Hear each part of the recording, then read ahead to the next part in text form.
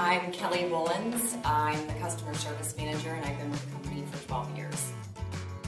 The one thing that most surprised me was when you walk into branches, it's a family-like atmosphere.